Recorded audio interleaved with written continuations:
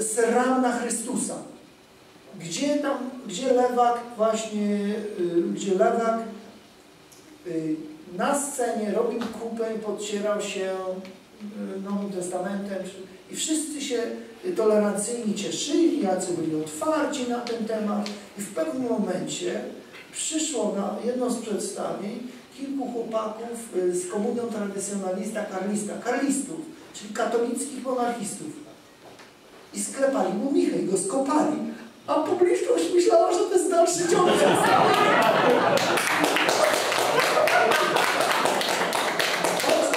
Po czym podpalili scenę i publiczność zaczęła I dopiero, dopiero potem przyszła policja. Także trzeba być, mówi się, oni mają performance art, to my też zrobimy sztukę performatorską, prawda? W każdym miejscu trzeba być aktywnym. I nie można pędzi dać.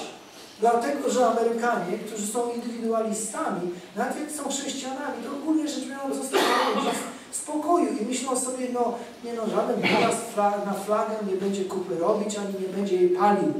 A okazuje się, że będzie dopóki nie dostanie w zęby i dopóki nie ma reakcji z drugiej strony.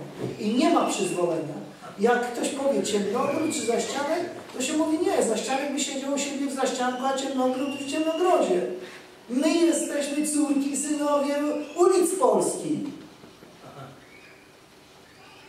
I na każdym, na każdym kroku, na każdym trzeba zaznaczyć swoją obecność i przestrzeń publiczną zabierać i odbijać się. To, co, co Andrzej Zybertowicz nazwał archipelagiem polskości. I to trzeba powiększać. I przede wszystkim nawiązać łączność międzypokoleniową. Nic się nie skończyła, nie skończyło. Karty są głównie w ręku Putina, właściwie tylko w ręku Putina. I czy on się zatrzyma na, na, na rozwiązaniu osetyńsko-kaliningradzkim, czyli tylko zatrzyma Krym, to jest ciekawe pytanie. Krym, Krym nie ma mostu do Rosji. Teraz, aby zaopatrywać Krym, trzeba używać transport wodny. Żeby zaopatrywać Krym, trzeba wysyłać bromy czy samoloty. To jest niewygodne i drogie. Stąd główne walki i przemoc jest ograniczona do południowo-wschodniej Ukrainy. Stąd Luhansk i Donetsk. Dlatego, że chodzi o most lądowy. On jeszcze się nie zdecydował, czy zrobi ten most, czy nie zrobi. Ale Krym, Krym jest łyknięty. Być może będzie jakaś umowa z rządem Ukrainy, yy, yy, żeby była korytarz eksterytorialny, więc to się będzie dalej kotłować. Na razie mamy mini yy, Liban. A jakie są najważniejsze lekcje dla Polski? Powiem Państwu tak. Pod koniec kwietnia udało nam się po raz pierwszy doprowadzić do gier wojennych z Ukrainą. To znaczy Army War College w Carlisle, Pennsylvania zrobił gry wojenne. I to wyglądało tak. No ja byłem zaproszony jako uczestnik. Większość ludzi jest zapraszana jako obserwatorzy. Były dwie grupy. Jedna była taktyczna i oni wyszli do innej sali i tam rozmawiali o typach transporterów opancerzonych, logistyce, jakie typy oddziałów, rzeczy, na których ja się nie znam. Natomiast moja grupa, mniej więcej do 15 osób, dyskutowała na tematy strategiczne z rozmaitego punktu widzenia. I oprócz nas było tam czterech cudzoziemców. Jeden chłopak, który mnie popierał w tym, co ja mówiłem, to był Brytyjczyk, w czasie przerwy do mnie oficer MI6, czyli wywiadu brytyjskiego, przyszedł do mnie i powiedział, że jest polskiego pochodzenia. Dziadek walczył w polskiej armii. A oprócz tego był pułkownik armii czeskiej, pułkownik armii węgierskiej i pułkownik armii e, ukraińskiej. Był polski pułkownik, ale on poszedł do grupy taktycznej, zdaje się komandos jakiś.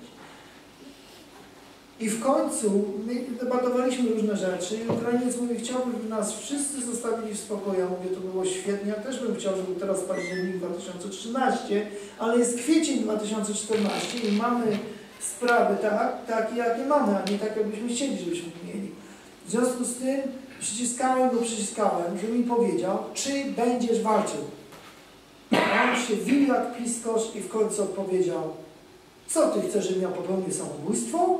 A powiedziałem, tak, bo ty jesteś wojskowym, ty jesteś oszołomem. Jak jesteś oszołomem, to musisz e, stanąć jako żołnierz ukraiński na granicy i łapać moskiewskie czołgi zębami.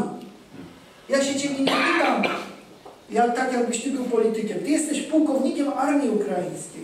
Proszę sobie wyobrazić, że pułkownik czeski i węgierski go poparli, żeby nie walczyli. Oni też by powiedzieli, żeby nie walczyli. Wiecie Państwo dlaczego? Bo oni są Sowietami. Oni są albo agenturą, albo przestraszeni, mentalnie niezdolni do, te, do wykonania obowiązku żołnierza. A żołnierz musi być oszołomem. Polityk używa armii jako narzędzia. Tego narzędzia można w rozmaity sposób używać. Yy, ekstremalny sposób to jest zwracanie się do przemocy, czyli wojna. Zwykle yy, używanie wojska jako narzędzia to jest chodzenie na pinaniu muskułów. A, żeby mnie nikt nie zaatakował, jestem potężny.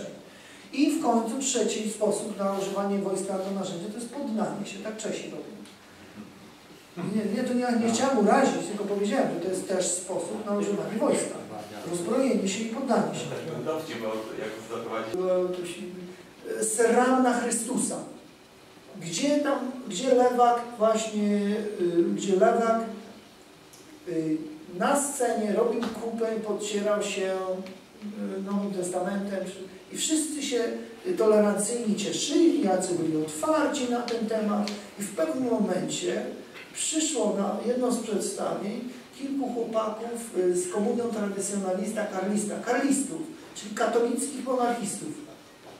I sklepali mu michę i go skopali. A publiczność myślała, że to jest dalszy ciąg.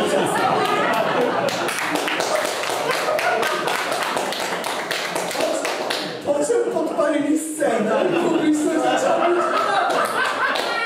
I dopiero, dopiero potem przyszła policja. Także trzeba być, mówi się, oni mają performance art, to my też zrobimy sztukę performatorską, prawda? W każdym miejscu trzeba być aktywnym. I nie można pędzi dać. Dlatego, że Amerykanie, którzy są indywidualistami, nawet są chrześcijanami, to ogólnie rzecz biorąc zostawiają w spokoju i myślą sobie, no nie no, żaden teraz na flagę nie będzie kupy robić, ani nie będzie jej palił. Okazuje się, że będzie. Dopóki nie, nie dostanie w zęby i dopóki nie ma reakcji z drugiej strony. I nie ma przyzwolenia. Jak ktoś powie ciemnogród czy zaścianek, to się mówi nie, zaścianek by siedział u siebie w zaścianku, a ciemnogród w ciemnogrodzie. My jesteśmy córki, synowie ulic Polski. I na każdym, na każdym kroku, na każdym trzeba zaznaczyć swoją obecność i przestrzeń publiczną zabierać i odbijać się. To, co, profe, co Andrzej Zybertowicz nazwał archipelagiem polskości.